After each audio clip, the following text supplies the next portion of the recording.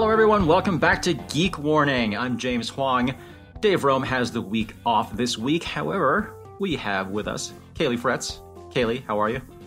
I am excellent. Hanging out over here. Doing some solo dadding this week. Doing some solo dadding. Mm-hmm. It's uh just makes life interesting. You know, I thought it, I thought it was too easy before, uh, just my life, and so thought we'd just uh, spice it up a little bit by sending my wife away for a week. Mm, indeed, indeed. Uh-huh. Yeah. Also joining us is Ronan McLaughlin, who's just putting his kid to bed. hmm And Caley, if you want any more challenges, like I can, we, we can arrange an extra one there for you if you like. Just for, I mean, even, I was going to say a week, but even just a day or two would be. You know, I think I'm all right. I think I'm all right. I think one, one is plenty. they, they would Yeah. have, they would basically look after each other. Like it would be no extra work for you, and like Wow, that's what people keep telling us about having a second one. Is that you know they just start they start entertaining each other, and I don't believe it. I think two is twice as many as one, and Uh, three times the work.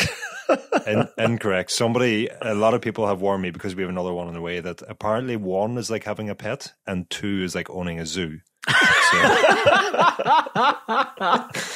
so uh, two times one, yeah, it doesn't. For some reason, it doesn't work out that way. Well, welcome to Dad Warning, everybody. yeah, indeed, Uh, indeed. Well, this, this this is what happens when the whole crew starts to get older, right? Mhm. Uh, anyway, we have a wonderful show for you as always. Uh, we've got some rumors of a new specialized Tarmac SL8 that have been kicking around. Uh, we've got a little bit of discussion on some updated E ETRTO guidelines on recommended tire sizes for particular rim widths. We have a test bike that tried to kill me. We have uh, kind of a bunch of random intros from Muc-Off, which is interesting. Uh, and then we also have Mavic possibly coming back onto the scene, although not in the way that you maybe would have expected. Hmm. And then we'll go ahead and talk about what's on our minds and maybe have a little PSA today. Uh, but before we get going on all that, I just want to remind everyone that here at Escape Collective, this is a member funded publication, and Geek Warning, especially, is a member funded podcast. So if you have not already signed up to be a member of, of Escape Collective, please go ahead and do so because, well, let's just go ahead and be blunt. This is how we all make our livings now. So please help us. Otherwise, we won't exist. I mean, and as, as I've said before, we will still exist. Just this whole podcast publication thing will not exist. We will still be alive. I I will actually dissolve. oh. Yeah, into a puddle of sadness.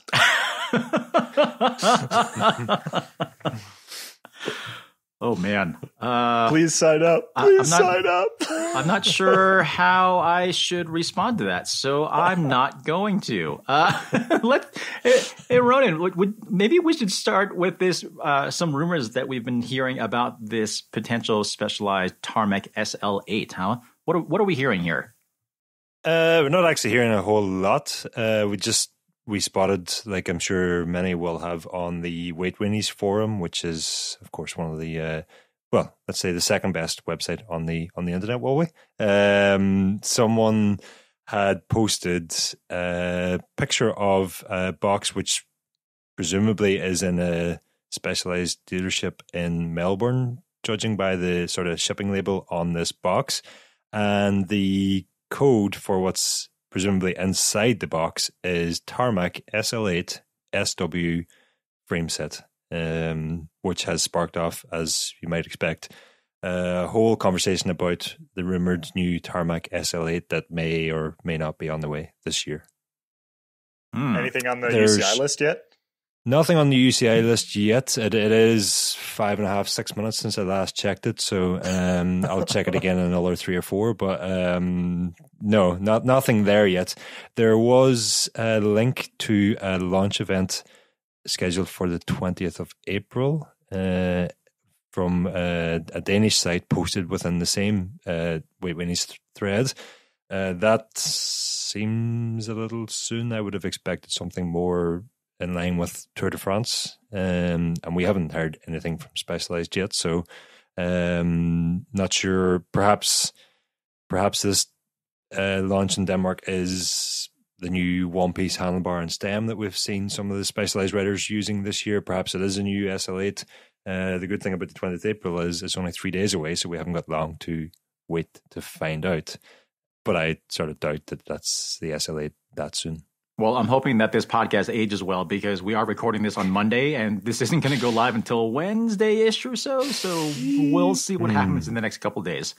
We could just do a little segment now. The SL8 has just been announced. Yeah. Uh, rim brakes, uh, triple no, no, front. I think you read that wrong. It's lighter, stiffer, more aero. Um, yeah, it's the SL8. Uh, Remco's riding it in Liège this weekend. Yeah, that's perfect. not Perfect. much more to it.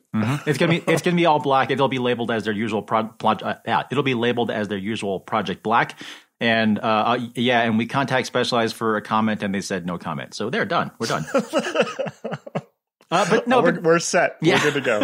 but but seriously, I mean, it, it the the SL8 has, or sorry, the the SL7 has been around for a few years now, and so the fact that there is an SL8 kicking around potentially really shouldn't be any surprise at all.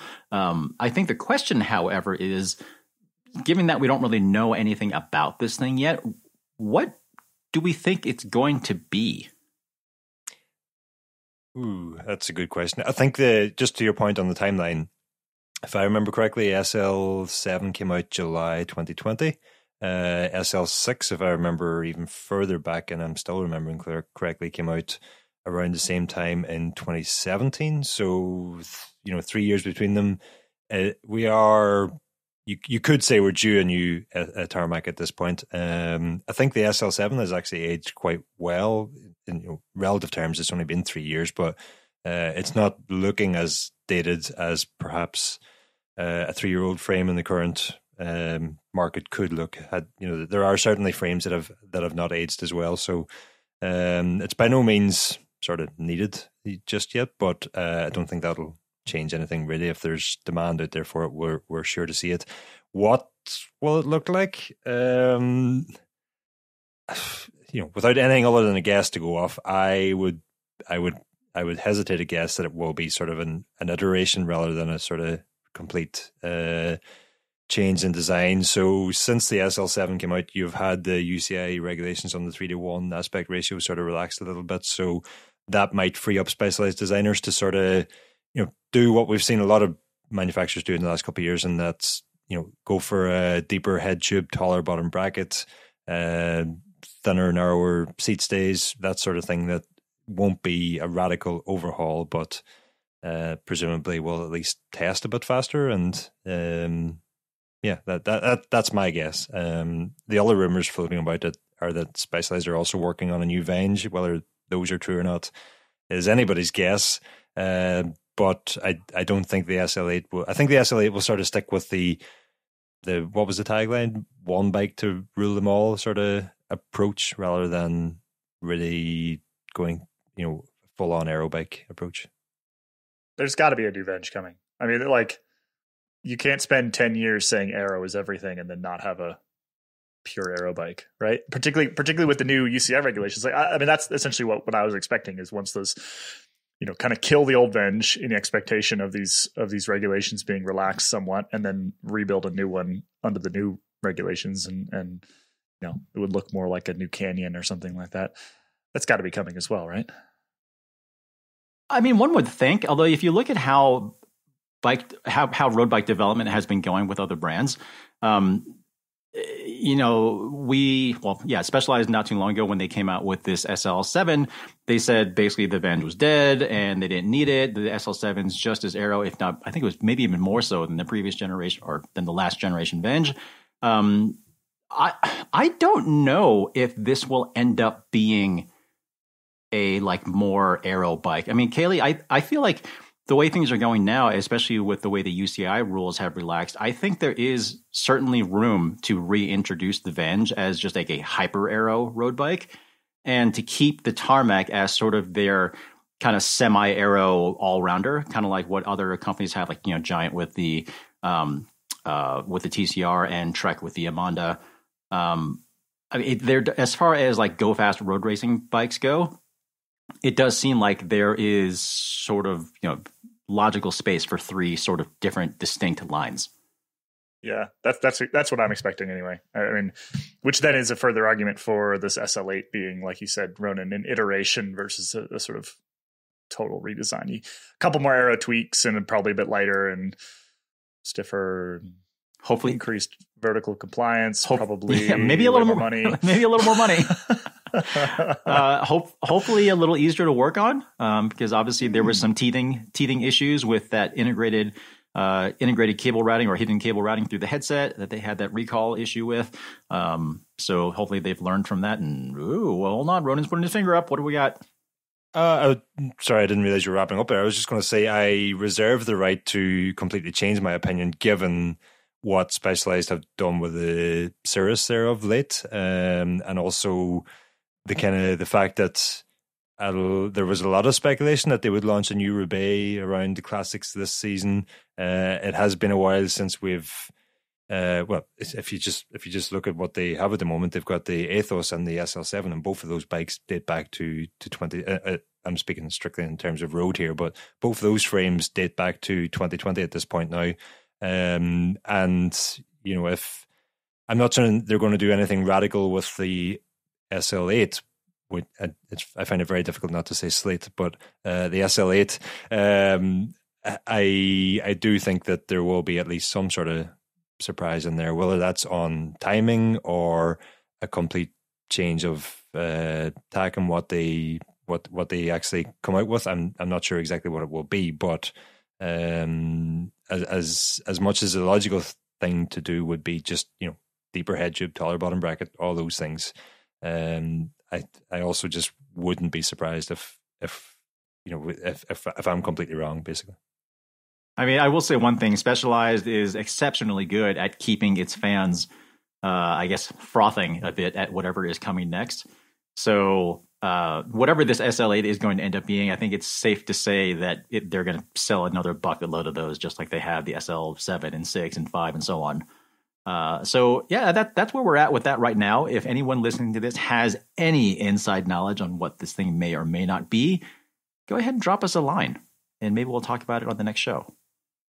I rode my SL6 today, which was still a fantastic bike. yeah, it was still it still is. I mean, like it doesn't really matter what comes out. I'll not be selling that SL6 for uh, an upgrade to whatever it is. Because if I remember correctly, your SL6 is rim brake too, right? Yes. Yes. Mm-hmm. Um, uh, and now may be the opportune moment just to say that um, having spent the vast part of the past two years on different disc brake bikes, um, rim brake carbon rims in the wet, no, that that, that do, do, just does not work. Still does not work. like whoever said save the rim brake was wrong. Uh, and uh, RIP my my mentions, my ads, but uh, whatever. oh, we can, Ronan, we can debate later in this show whether that whether that braking situation is more or less dangerous than the one that I was dealing with lately. So uh, we'll, we'll, get to that. We'll get to that. All right. Well, I'm just gonna not ride in the rain. Ronan. No rain, and then you're fine. I, I can't even. I can't even think of the last time I rode in the rain. It's all good. Oh yeah, yeah, yeah. That's yeah. the key. Mm-hmm.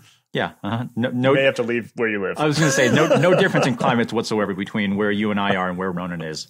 Uh, all right, mo- moving on. Um, we're going to revisit a little bit of a topic that we talked about, or I guess I didn't talk about because I wasn't quite involved yet at the end of February. But on the February 23rd episode of Geek Warning, um, uh, I talked about the kind of revised ETRTO guidelines, and ETRTO is the European organization that handles uh, basically wheel and tire safety across just vehicles in general. Um, but they uh, they just released some new guidelines talking about what the minimum recommended tire widths are for a particular uh, for a particular inner rim width. And normally, this isn't really something that's super newsworthy. It's kind of boring. It's all like technical mumbo jumbo. But what is particularly interesting, and this is something that we mentioned in February, uh, is those revisions have kind of left out Zipp in particular um, because on some of their wheels they have a 25 millimeter inner width and they recommend tires as narrow as 28. And ETRTO is now saying that if you running a if you're running a 25 mil inner width rim, you should not be running a tire any smaller than 29 millimeters. So naturally, Zipp has uh, they've taken a little bit of issue with this. I guess they don't agree. Um, but uh, what we have now is an official statement. Uh, so I'll go ahead and I'm just going to go ahead and read the statement here. So, quote, as participants in the ETRTO standards meeting, we knew the compatibility table would change. We understand the updates, but they contradict our position. Zipp has tested, designed, and developed several popular and professionally proven wheel sets with 23 and 25 millimeter internal widths. We know there have been enough wheel sets ridden in the past several years with the 28C tires on 25 millimeter rims to prove that the combination is safe and delivers many proven performance benefits. And while the new compatibility table removes the combinations that Zipp advocates for, the current table will move to a section of the ETRTO norm called PSD for previous standard data, demonstrating that those combinations are safe and can still be used. Unquote. Uh, what does that mean? So it's essentially the way that I am reading this is ETRTO is supposed to be they're the organization that is supposed to say what is and is not okay. And in this situation, they have now said that this combination that Zipp advocates for is not okay by their books. Zipp is saying that it is okay, but now there's a sort of addendum in the ETRTO, ETRTO guidelines saying essentially that we're saying this is not okay, but previous examples of this that seemingly were okay are maybe kind of still okay. Is this confusing to anyone besides me? um, yeah. Yes, I, th- I think I, th- I, th- I, think another way of saying it is that uh, going forward, this will not work, but for some miraculous reason, going backwards, it's fine. I mean, it almost just seems like ETRTO is sort of just kind of like giving giving Zipp a pass for a while. Like, I it makes me wonder if this is just sort of like a temporary grandfathered in sort of thing. We, we probably should say at this point that uh, the at least the Zipp rims that I know of that have a 25 millimeter internal are the 353 NSWs, but there is also the new ENVE 4.5 SES or SES 4.5s, which also have a 25 millimeter internal rim. So it's not exclusively or uh, solely Zipp rims that uh, have a 25 millimeter internal rim on what are sort of marketed as road wheels. There's that, plenty of gravel wheels in that, that, that have wider rims. That is true, and and I'm a big fan of the ENVE 4.5 uh, AR, uh, which, if I remember correctly, also has roughly a 25 mil inner width. But I think it's quite telling now, looking back, that ENVE recently revised their tire size selections. So instead of like 28 and 30, now they're 29 and 31. Um, so they're okay. And I don't know what Zipp is going to do. Again, this is the statement that we have from Zipp at the moment. Um, but point being, there has been so much, con- and, and, I know this is something that I've harped about in the past, but there's so much confusion when it comes to road tubeless and what works and what doesn't work, hookless, non hookless, so on and so forth, pressure guidelines. This does not help. No. no, certain, certainly doesn't. Um, and adding more confusion to what was already a, a com- confusing subject for for many general users um, is not. I, I'm just thinking specifically of a few of my riding mates or a few people that I know that ride that you know the the hookless and tubeless question is one that comes up repeatedly. You know, almost every time the tires need replaced, it's like, are these tires compatible with these wheels? And uh, adding uh, that's as simple as actually something that is just described as hookless compatible or not hookless compatible. If you then start add, if you then start adding in hookless compatible with 29 mil tires or hookless not hookless compatible with 28 mil tires, adding numbers in there to what's already a confusing situation is not a good, uh, not a good scenario. Caley, you have a pained look on your face at the moment. yeah, it's it's like part pained, part angry. Uh, like I feel like I've ranted about this particular thing enough times in the last couple years. Um, I I just think it's a it's a shocking disregard for the safety of of the average consumer is the way is the way that the bike industry has comported itself over the last couple years in, in this particular area. Um, like to the point where I'm I'm amazed that they haven't had their asses sue, sued off of them by the by now. Like uh, it it the fact that it's so confusing, the fact that you know the three of us sitting here, it is literally our jobs to keep up with this sort of thing, and we're still sitting here going, "What um, what on earth are they talking about?" It's yeah, it's it's terrible. Like it's it's I don't know I don't know how else to describe it. It's it's it's uh yeah, it's deeply irresponsible and and yeah, just shockingly bad is is the only way I can describe it. There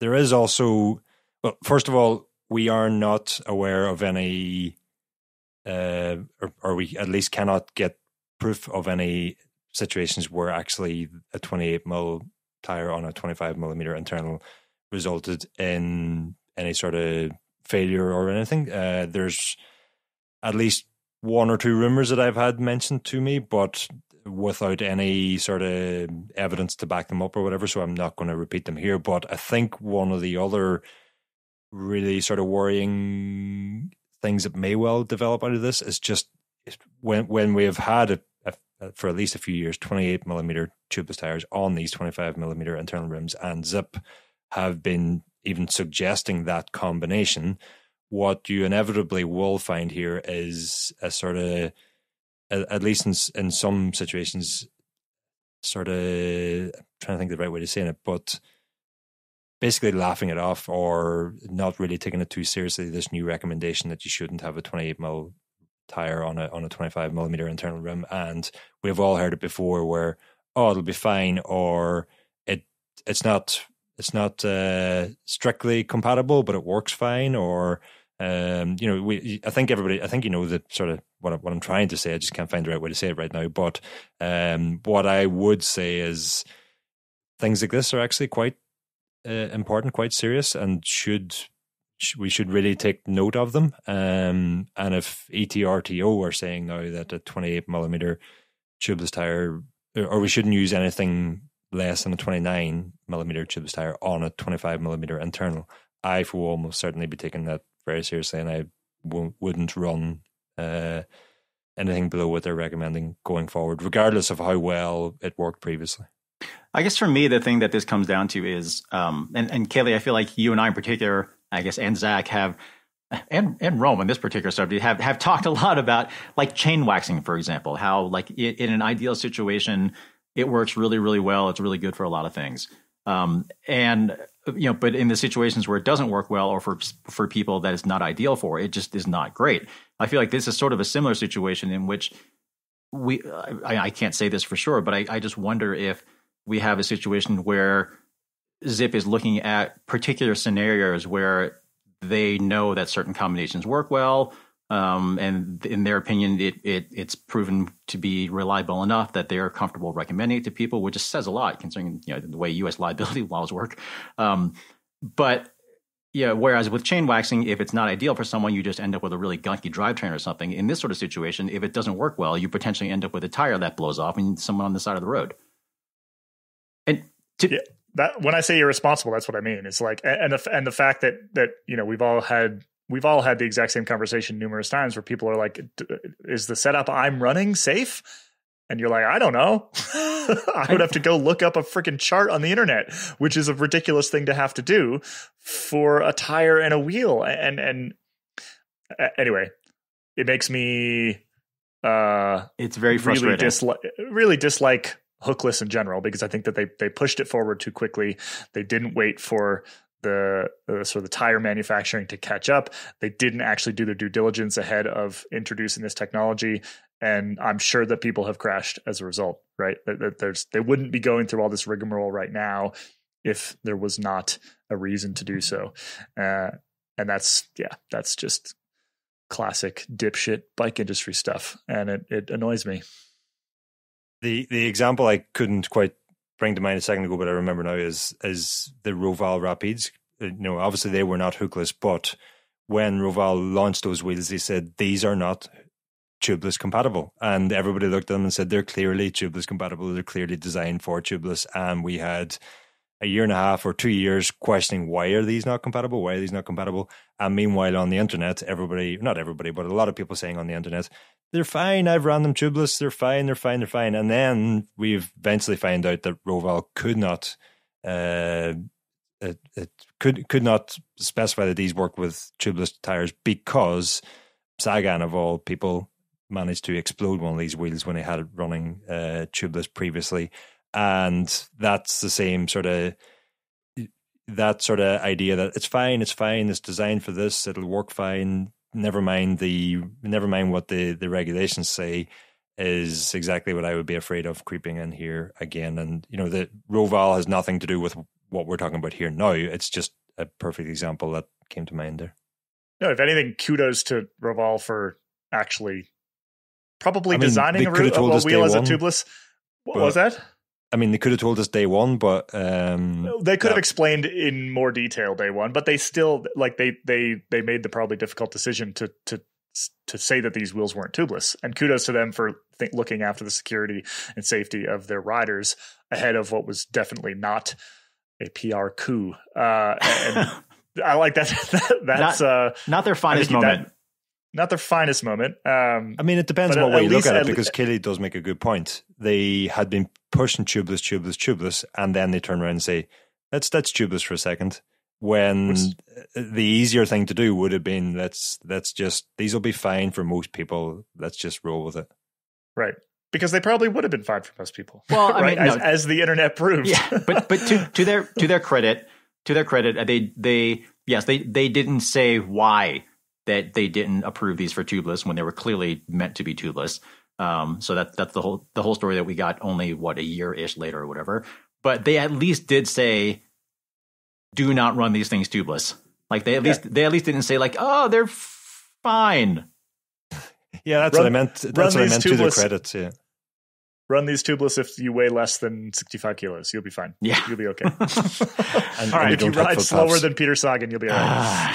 Ah, yeah, yeah. All right. Well, uh, continuing on this vein of things that are trying to kill us, um, I, I, uh, I, I just, I just wrapped up a review of that, uh, that crazy uh, Indiegogo crowdfunding bike, the Superstrata.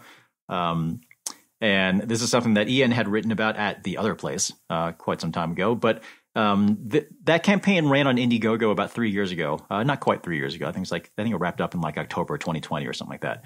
But um, anyway, that campaign wrapped up almost three years ago, and it pulled in a ridiculous amount of money. It was over seven million dollars US, and it was backed by something like 4,500 people or something like that.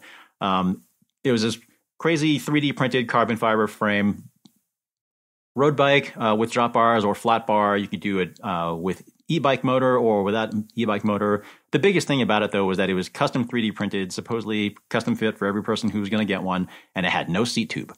Um, but they had all these crazy claims. It was going to be like a 1.3 kilo frame, which is like not crazy light, but pretty reasonable. Um, they were saying that the whole bike was going to be something like uh, I don't remember seven something kilos, something pretty pretty reasonable. Um, and the the Kickstarter prices were, I, I mean, it was a lot of money for I think for a casual cyclist or someone who's just not really into bike riding.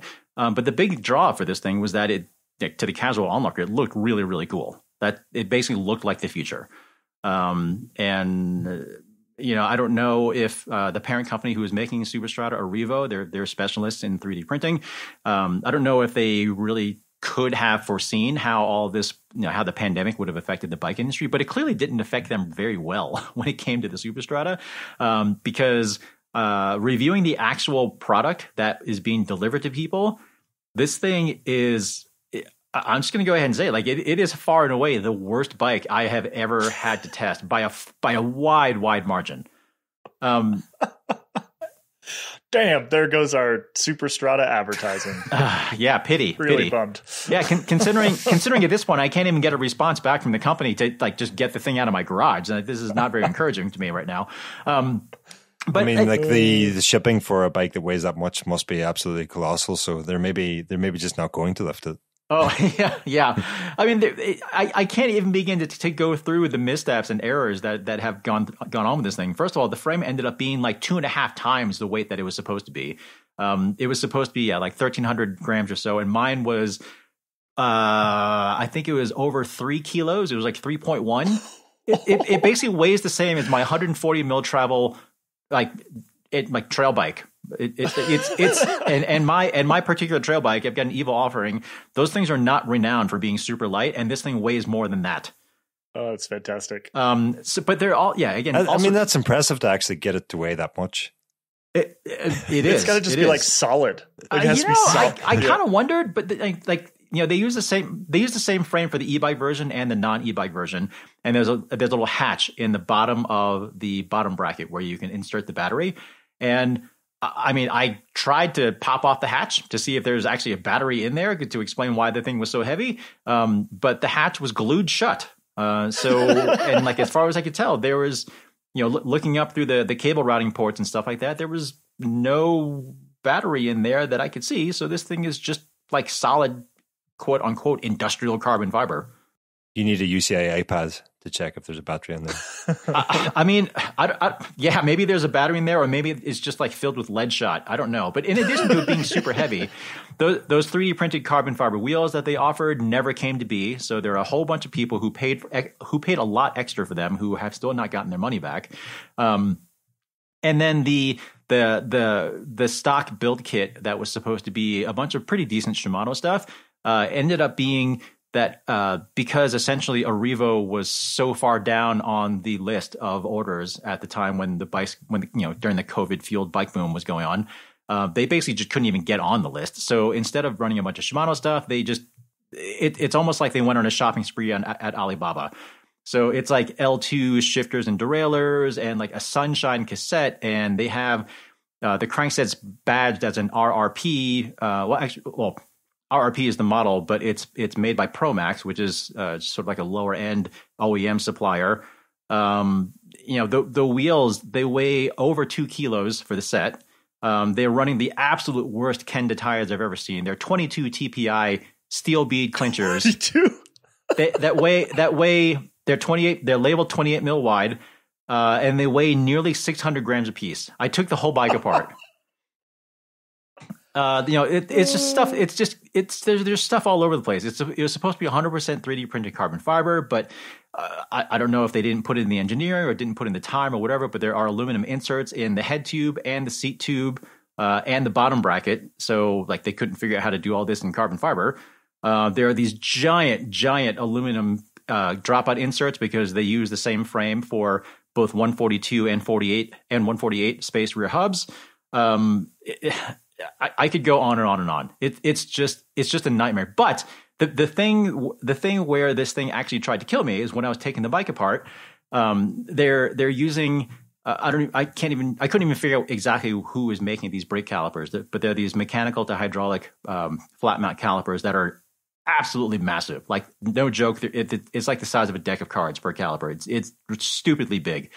Um, but the most offensive part is that they put this bike together with derailleur cable and housing for the brakes instead of brake cable and housing, which uh, I, I, will say that in like very, very, very early on in my like self tinkering and bike shot days and whatever, I'm like, oh, you know, this this housing is a lot stiffer and a lot less prone to compression. I bet this would make my brakes feel really good, and it does until the strands explode because they're not designed to handle compressive loads.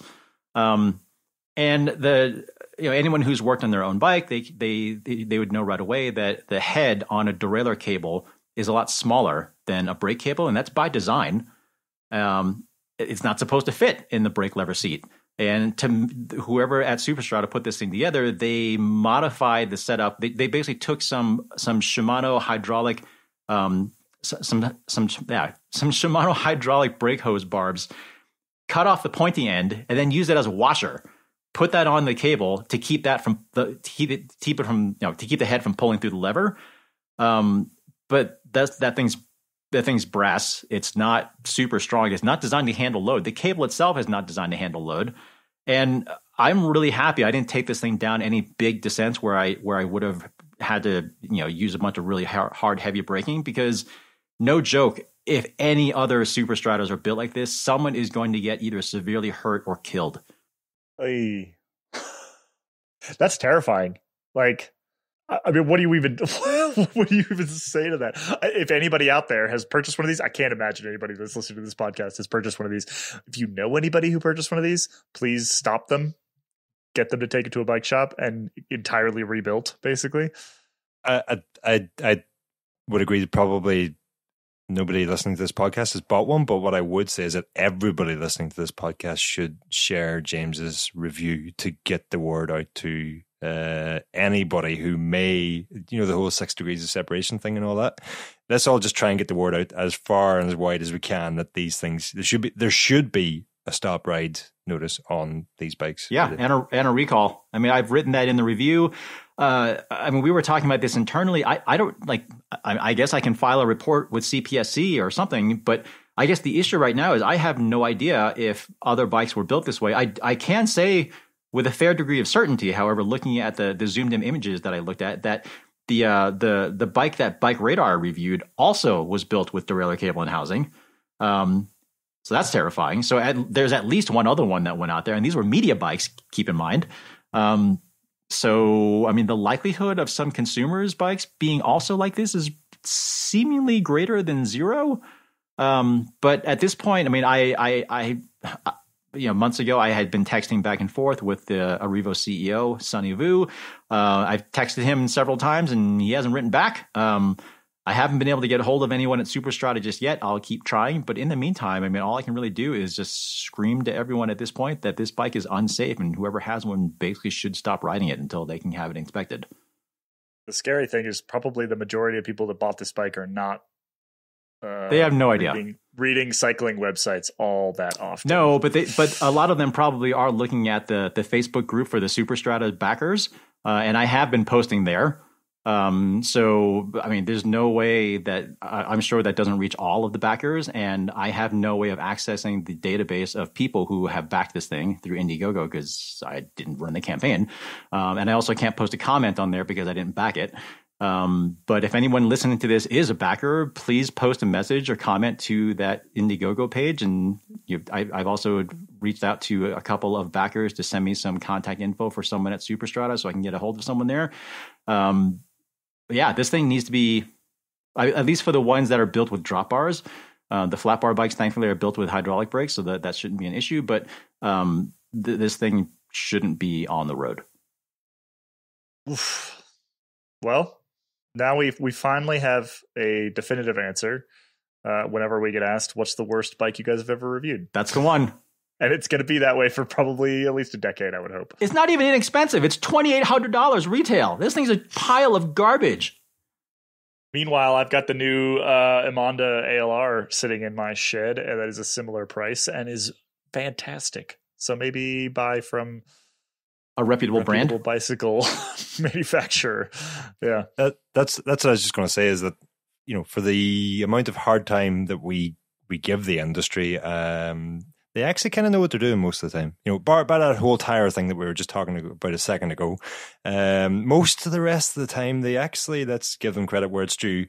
Do a, do a lot better job than the Superstrata. Um, and unfortunately, everything you were talking about there, James, like the incredible weight. The you know how it was some of the, the, the parts on it were just not what you were expecting, um, and then safety issues for you was derailleur housing and, and cables in, in your brakes.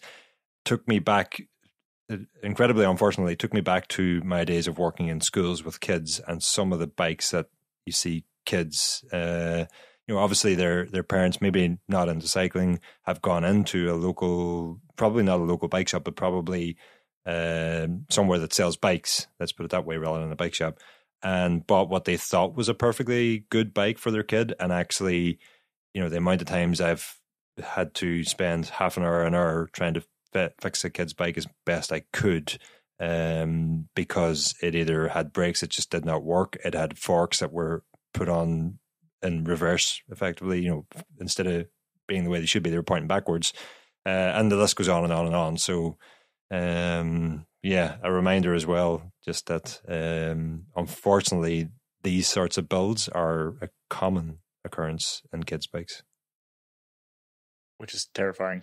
Yeah, yeah, yeah fingers crossed Superstrata doesn't go into kid bikes. Although I will say that the uh, that parent company Arevo, R E A R E V O that I mentioned, uh, they have run another Indiegogo campaign since this one that was successfully funded uh, for a, a motorized scooter called the Scotsman. And uh, I dare say people listening to this podcast may be familiar with my unfortunate incident with a scooter mm. a few years ago. So, needless to say, I am not a fan of this if you had been on a Scotsman that time, you could have been the flying Scotsman for any of our listeners who are train aficionados. They'll they'll know of the flying Scotsman. Uh, oh my goodness. Yeah. All, all right, right, Moving on. Moving on. Anyway, head out to escapecollective.cc and read that review, please. Uh, yeah, even if you don't have one, if you don't know anyone who has one, it's like it's a it's a case study in what not to do. Anyway. Uh, moving on, moving on. Um, we got a little bit of tech news going on here. A couple of interesting releases. Um, Mavic speaking of wheels and stuff like that, they seem to be back uh, after an awful lot of turmoil with buyouts and companies going under and so on and so forth. Um, yeah, they seem to be back. That they seem to be back, but maybe not where you think they would be, um, because they have uh, they're apparently working on an e-bike motor, which is exactly what you would expect from Mavic. Um, but they are they're working on an e-bike motor, uh, primarily for road and gravel. The design looks interesting. Um, it is something that it, it's quite small. Um, it, so it actually integrates pretty well into uh, a kind of pretty regular bike profile. Um, don't have a lot of stats as far as like power and that sort of thing. Um, but one thing that's really cool is that there is a way to run a standard crankset on it, um, which is very intriguing. That that's something that you have not been able to do with any other mid-drive motor setup.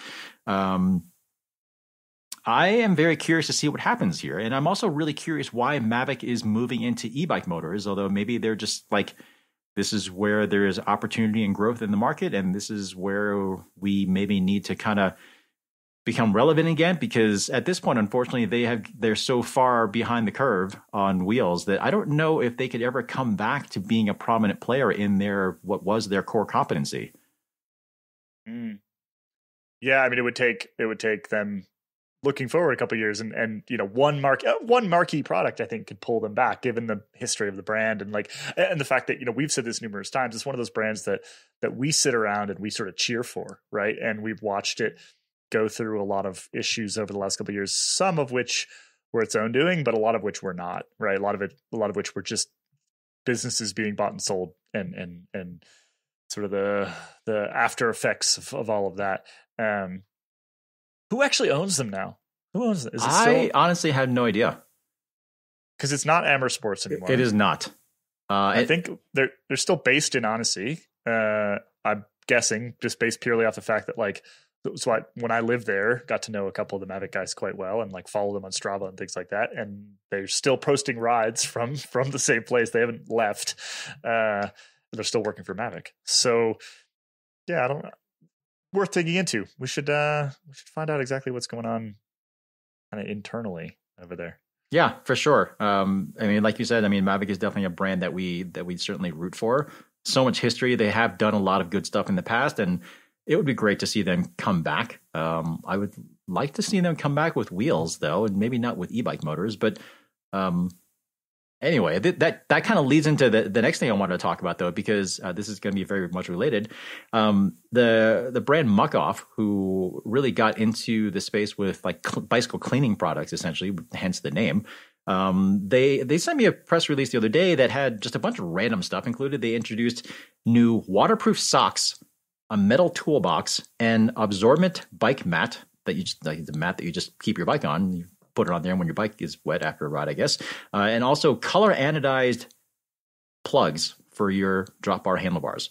Um, what is up with brands who feel the need to expand into all sorts of weird product categories that they're just not like that it's just not like who they are necessarily like you know speaking of mavic uh, like we look at you know Ma- mavic one of the reasons that they went under is they went beyond wheels and they went into like clothing and helmet and shoes um, and then like Silca, you know, Josh Poertner, I think is one of the smartest guys in the bike industry, and I think Silca makes a bunch of really cool stuff. But they have like lube and now like tire sealant and uh, 3D printed titanium computer mounts and tools and socks.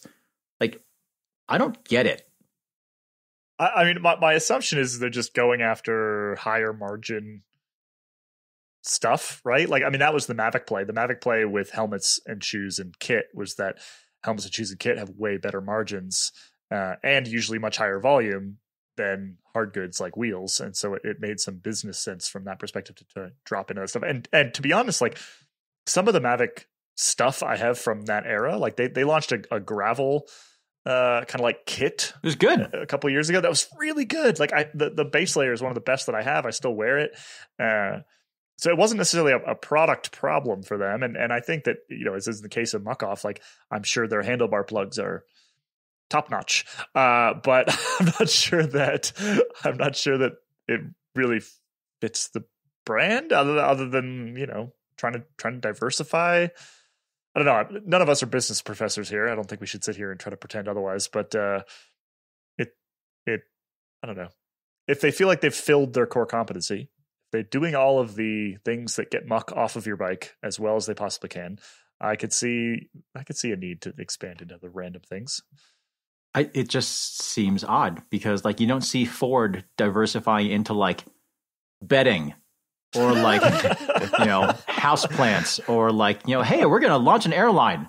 It's just odd. I just don't get it. It is a bit. It's a bit. Yeah, I'm not. I'm not saying it's uh, what I would do, but, but I can. I can see.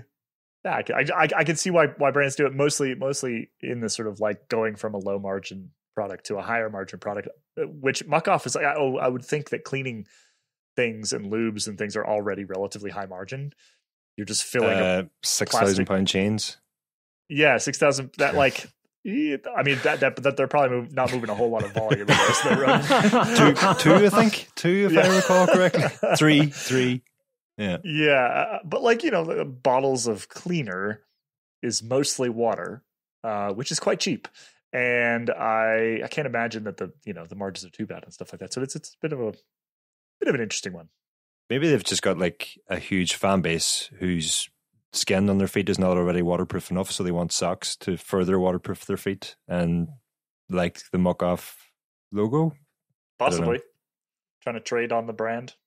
Yeah, I, you know, we sit here uh, at Escape Collective and like we're about to dive headlong into mountain bikes, right? Yeah, but but that's a different kind of. That. But like, there's like there, it's still the same group, and like they're so similar. They're just like two different types of bikes. You when we've made the argument before that gravel bikes are sort of just crappy old mountain bikes.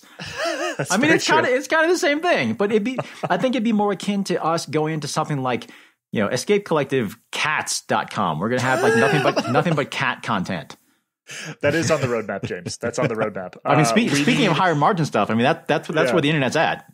We need a lot more members before we get into cats. Mm. Uh, I, am thinking, or maybe that's somewhere how, in the, or maybe that's how we two, get more members. Uh, maybe we should move it up in the roadmap. Ooh, I don't know. Oh, hey. Yeah. there, there is actually an extensive list of of Muc-Off off bike and on bike uh, products already. There's all weather changing robes, cases and wallets, face masks, grind bags, hats, caps, t shirts, sweaters, sweaters, hoodies, and there's a whole lot of on bike clothing as well. So, um, and of course, they already do like uh, you know a lot of motorcycle uh, cleaning products. That you know, there there's obviously uh, a direct link between bike cleaning and motorcycle cleaning, so that that's fine. But um, this is by no means the first uh, deviation into this sector for Muc-Off?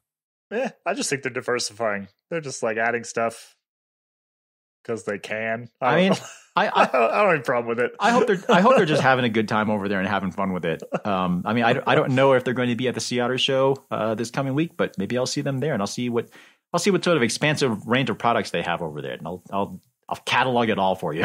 You need to report back on their bar plugs. I'll, I want to know about the bar I'll, plugs. I'll just have an entire catal- entire tech gallery devoted to Muc-Off products. It'll be like hundred images. they would love that, I'm sure. I'm sure they would. All right, let's uh let's let's wrap up the news and everything here. Do you guys you guys have anything on your mind this week that may be over the head of your parents? Um, you threw me a little bit when you said over the head of my parents, but uh, Family, uh, sorry.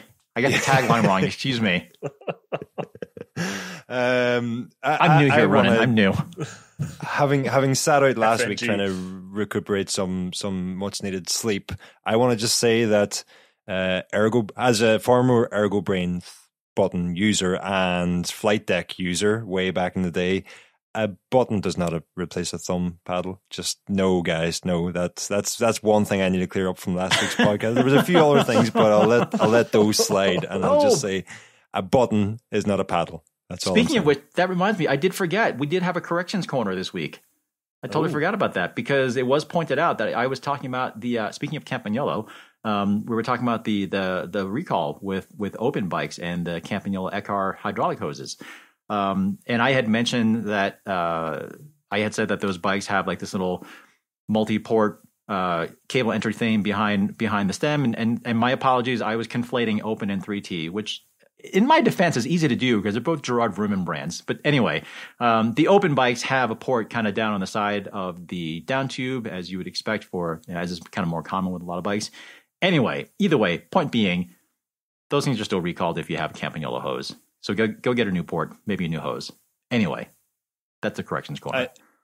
I, I, I could also sort of say that you know I have a reputation for how little I did crash, but you know I'm going to let that slide. That was another thing you brought up last week, and and, and I want to get into what I actually want to talk about, which is sort of related to one of Dave Rome's articles recently on um, things bike fitters want you to know.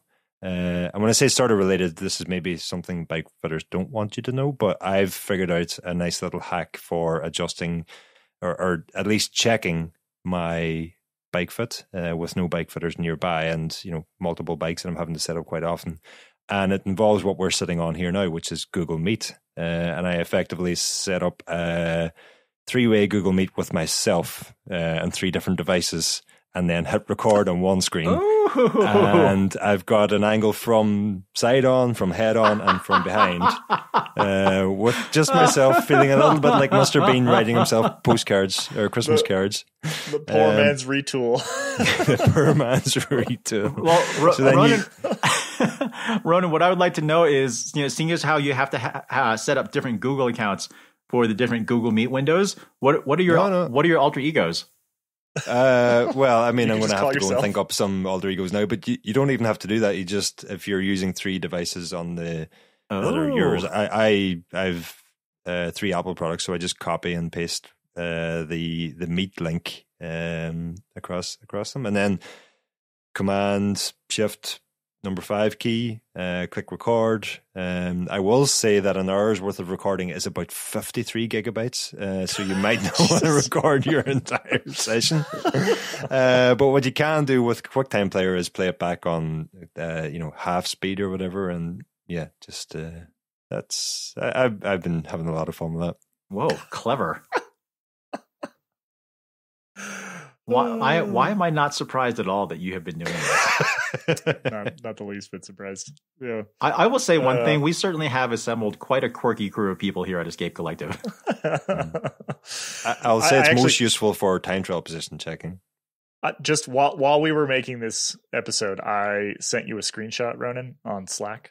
Um, I All was right. driving. I was driving back from dropping my wife off at the airport earlier today, and did one of those like, ah, idea, and it popped into my head. And I took a voice note, uh, and then I just sent you a like, basically it, it auto transcribed my voice note. The voice note is a podcast focused on training or maybe tech called the process that Ronan runs. And I think this is a good idea. I think because like stuff like this, like this should be its own weird, quirky stuff that you do to make yourself a better bicycle rider. I think could be worth of its own occasional Mm. podcast series. Oh, I like the, I Could like the name. uh, I like the name for that too, Caley.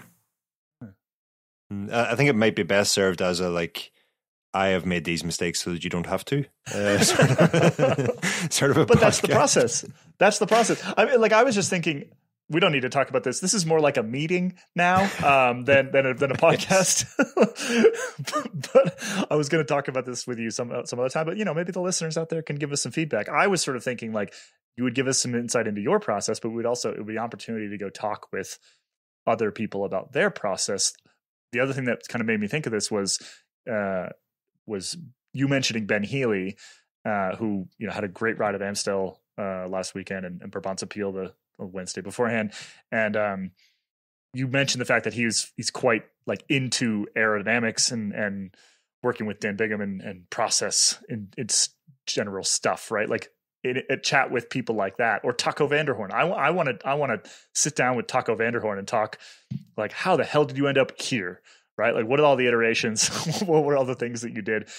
Anyway, It's like, well, I, one time I crashed and the lever got bent in, and then I had just hop. like, there was no neutral. There was no neutral car, and I just had to hop on, and then it turned out that it was really good.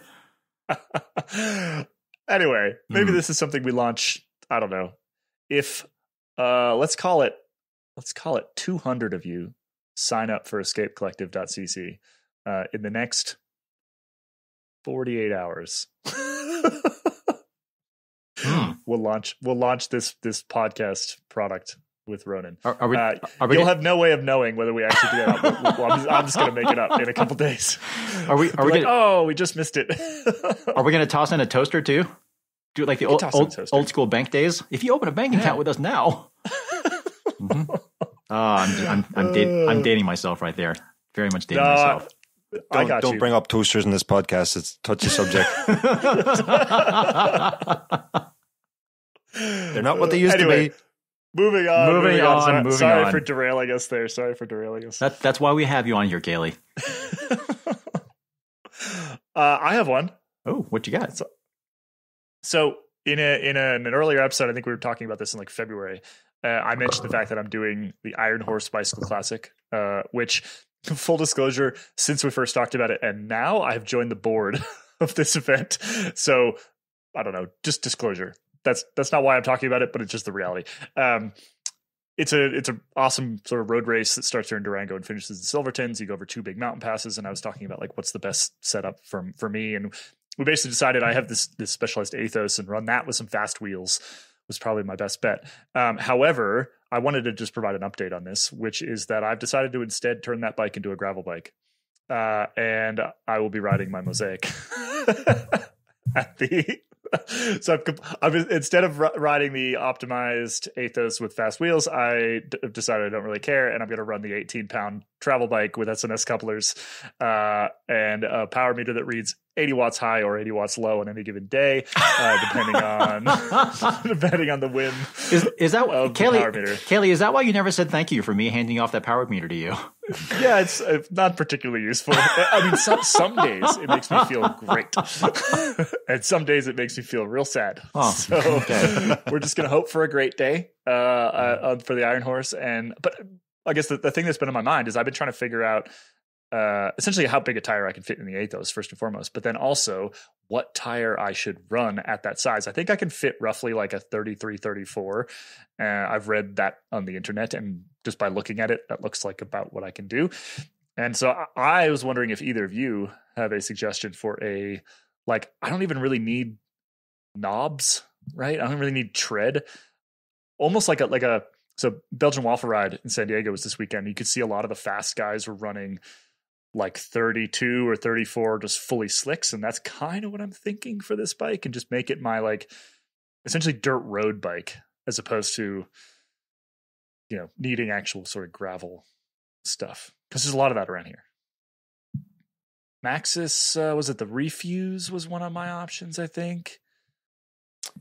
Uh, yeah, I've actually used a refuse. I, I'm hesitant to say this. I'm pretty certain I've used the refuse on sort of gravel route that we have around here, um, and and ripped it pretty quick. So depending on what type of gravel, you know, that was that was fire track. So you know, really, to be fair to the tire, I it was it was beyond its comfort zone. I would say.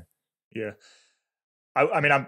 It's really rocky around here, so I need something with a good sidewall, and I think I'm gonna run at least a rear insert. I think, uh, because it's not. I'm not, not gonna have a huge volume tire because it won't. That bike won't fit it. It's still a road bike, right? Um.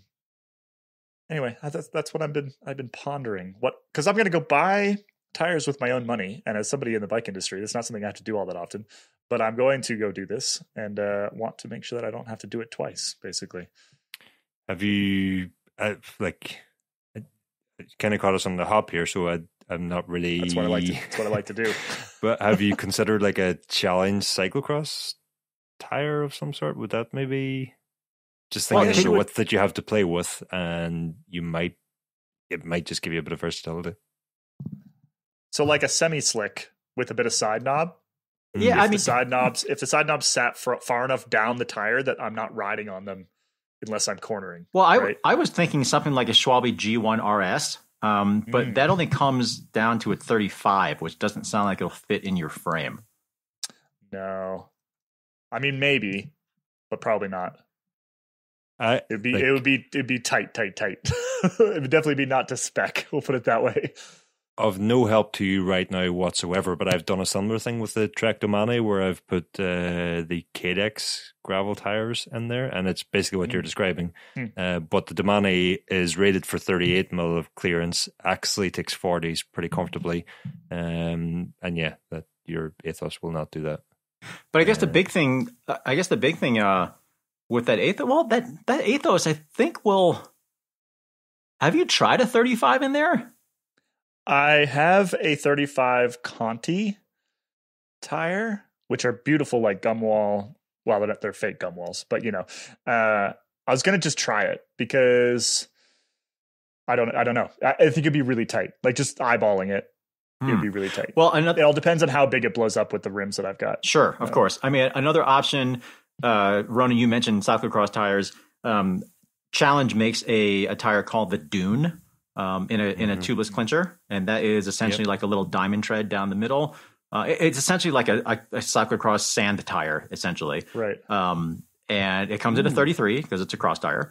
Uh, comes in a tubeless clincher. Might work. That, that's exactly what I was thinking of. Yeah, uh, Yeah, very. I s- like. well, entirely different, but sort of similar looking to the KX that I mentioned there. like the look of that a lot. That's yeah, that's that's I'll give I'll question. Last time I used challenge tires was when I was a crit rat in like 2009 and they sponsored the team that I was riding for and we had to stop using them because the tread kept falling off Hmm. in like one ride. Hmm. They, That's they, not, they seem, that's they not seem the challenge now. anymore. The challenge is the challenge is getting them on and off. these days. All right. Good to know. they, they, they seem better now, Caley. Okay. That's all I've got. That's all I've got on my mind. So I, I problem mostly solved, and uh, I look forward to riding the Iron Horse on my heavy metal bike. It'll be great. well, we will Which we'll we'll have to check in and see what you ended up with for tires because I, I have I have visions of you sticking those dunes on there like the night before the race, realizing that they don't quite fit and that they rub just a little bit, and you coming back with like a hole in your chainstay. also possible. Now that you're on the board, can I recommend that you, uh, you maybe get I don't know so someone who to come and do the race, like a not really a guest appearance, so to speak, but maybe a guest of the race. Uh, someone who I don't know, someone from maybe an Irish fellow who used to do a bit of racing. Um, yeah, maybe Do you maybe think you just could beat? bring that up a do you- line. No, no, no, I couldn't beat any. I'll, Do you- you know, I It could was maybe Quinn beat you, Simmons but- that won last year. Uh, Do, do, do you think you could show up on a functional bike?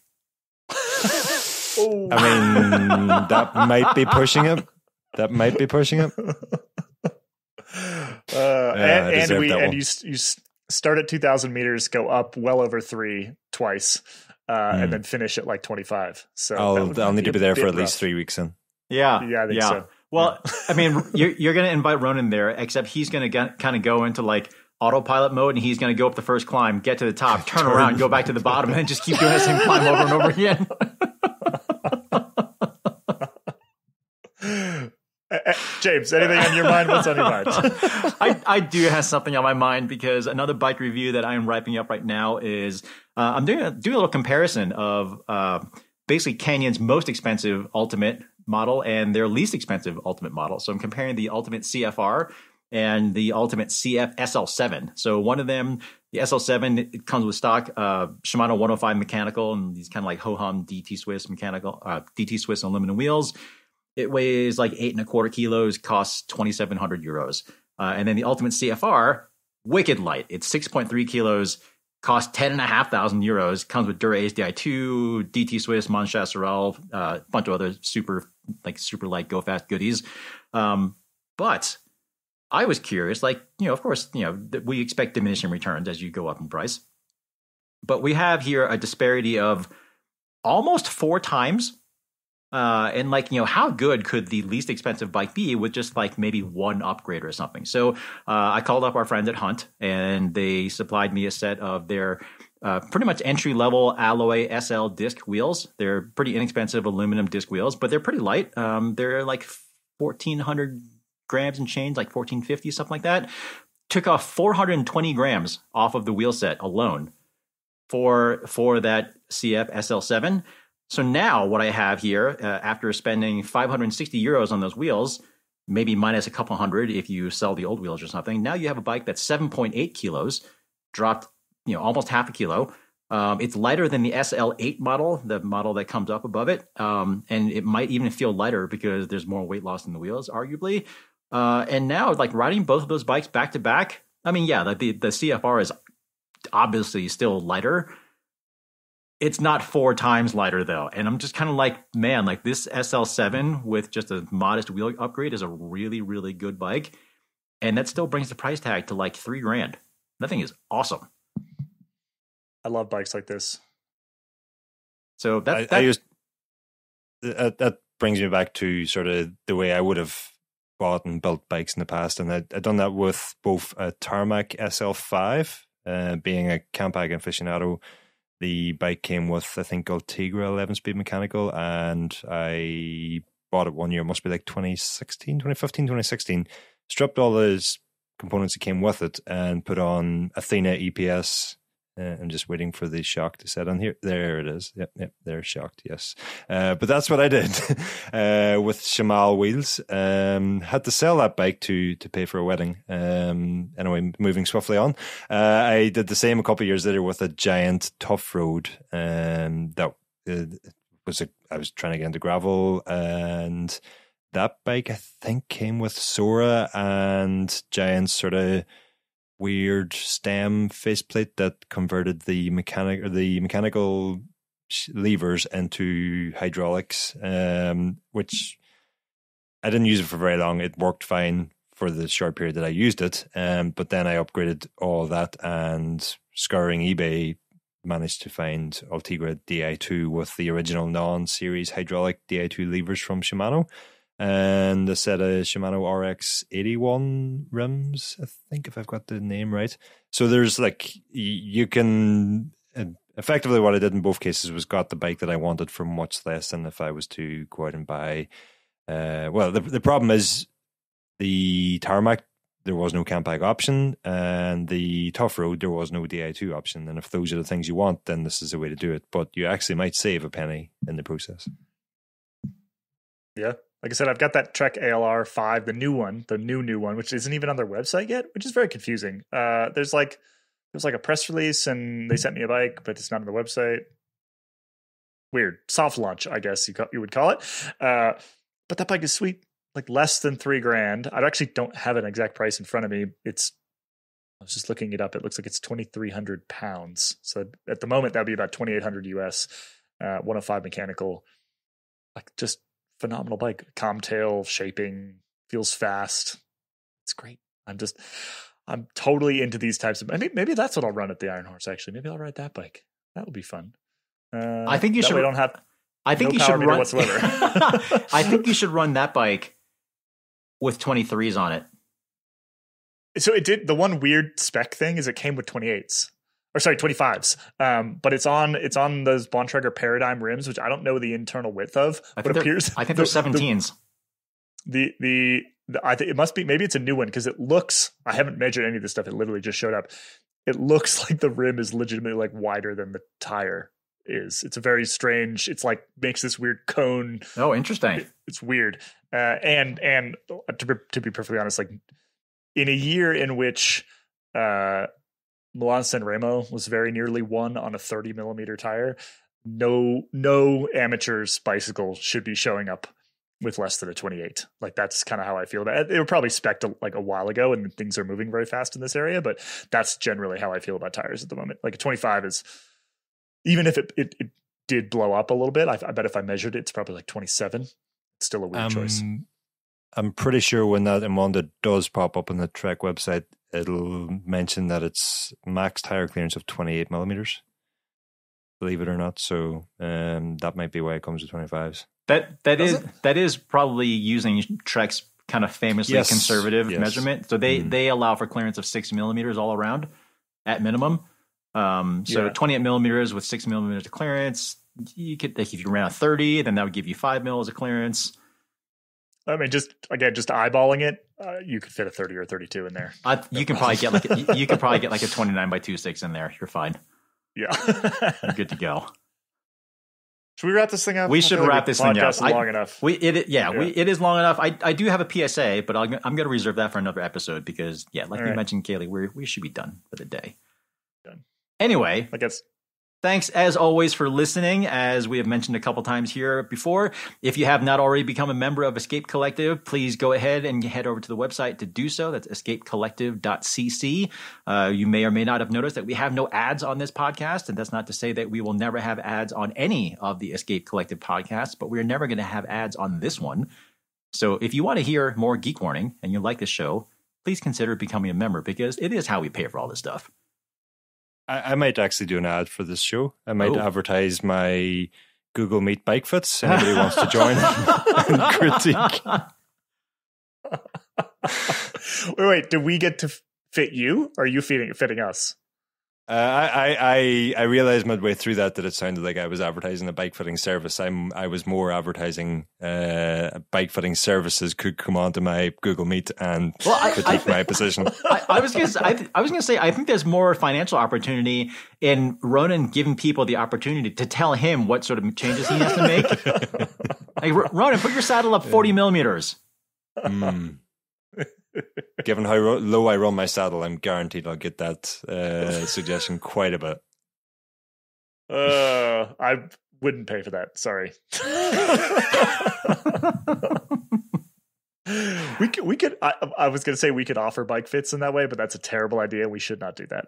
We do not have the e- expertise to be We'll, to be offering internet bike fits. To we people. will, we'll figure out something else, I'm sure. Cats. Yep. Definitely cats. Either way, Cats. anyway, that'll, cats. That, will be it for us this week. I'm gonna cut things cut things off here before Caley goes off and get another tangent. Thanks again for listening. Yeah. We will see you all next week.